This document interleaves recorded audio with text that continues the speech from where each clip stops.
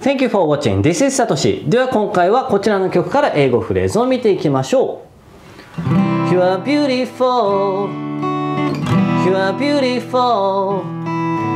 You are beautiful. It's true. You are beautiful. ジェームス・ブランド。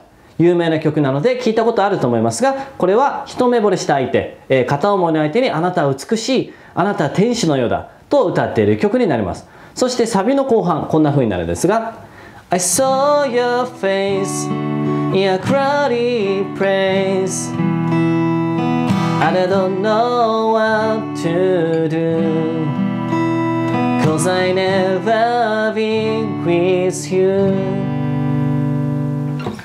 こちらに出てくる I don't know what to do かなり使える便利なフレーズですので今回チェックしていきましょう I don't know what to do これどういう意味かというと何をしていいのかわからない。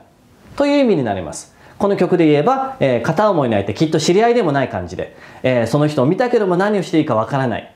という感じだったりとか何かアクシデントが起きた時にもう何をしていいかわからない。I don't know what to do というような感じで使うことができます。そしてこれ似たようなフレーズに何て言っていいかわからない。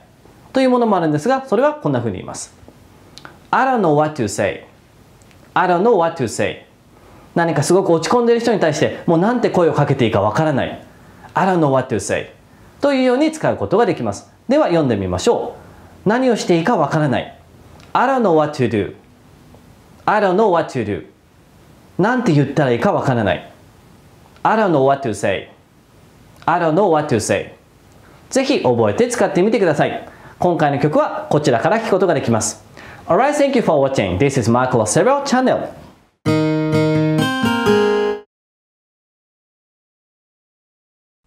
Macro Stereo